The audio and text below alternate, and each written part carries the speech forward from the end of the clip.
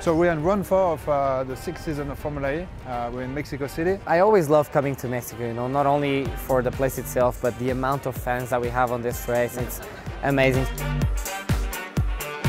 Expectation for this race will be to finally score some good points. I think the luck has not been on my side uh, so far, so hopefully uh, Mexico can be a, a turning point for us. We're coming back from a, from a podium finish in, in Santiago, so feeling really good. You know, we have all the capabilities to, to turn those second places into race wins uh, very, very soon. And uh, yeah, just want to go racing.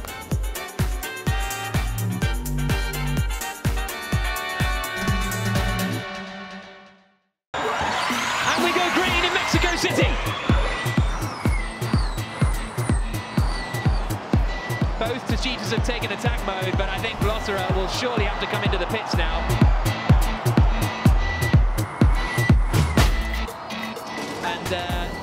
Costa is ahead of Vergne. Uh, it looks as though that they may have swapped positions.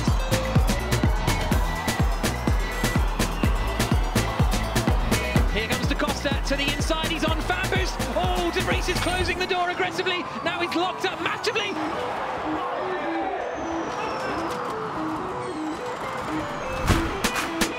Bastonio into the next straight. Is what we are looking for, yes.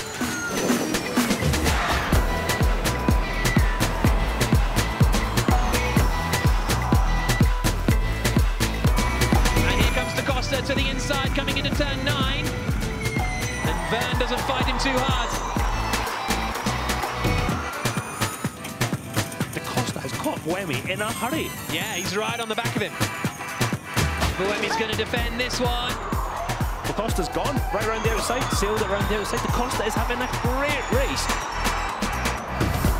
Bird is in his final attack mode now, and that's Da Costa's chance. Da Costa is through, is he? Up into second position. He was side by side with Bird as they exited the stadium section. They're still side by side. Coming through Peraltada. Bird's got extra power, so he should be able to hold on to this one. Oh, oh it's off. Bird's off yet. Got on the marbles in the wall. And that means Da Costa is second, Buemi is third, Bird is fourth.